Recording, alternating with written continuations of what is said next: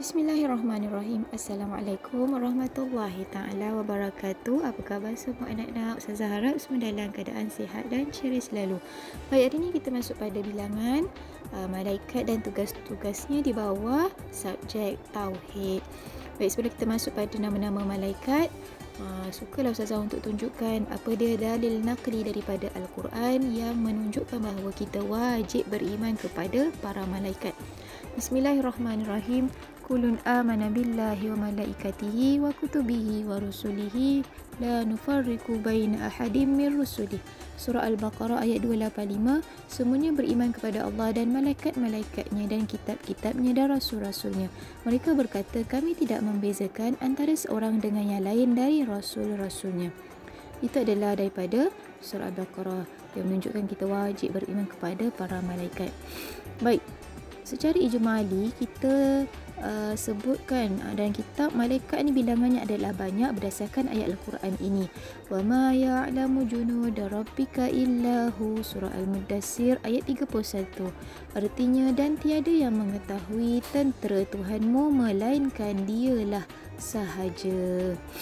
Maksudnya bilangan malaikat ni terlalu banyak. Tetapi secara tafsili Okey, 10 nama malaikat sahaja yang wajib diimani dan tugasnya adalah seperti berikut. Okey, secara tafsili ni terperinci. Kalau ijmali tadi secara ringkas. Yang pertama sekali adalah malaikat Jibril. Okay, apa tugasnya? Menyampaikan wahyu. Baik, yang kedua adalah Mikail. Ha, iaitu menurunkan rezeki dan hujan. Yang ketiga adalah malaikat Israfil. Tugasnya adalah meniup sangka kala.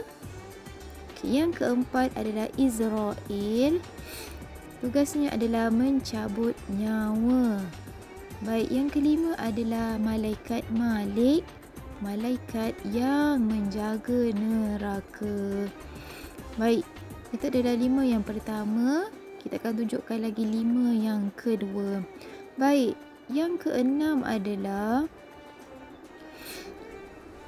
uh, baik itu kan tugas malaikat itu tadi uh, sesuai dengan nama-nama mereka dan tugas-tugasnya daripada memberikan wahyu lah sehingga menjaga neraka.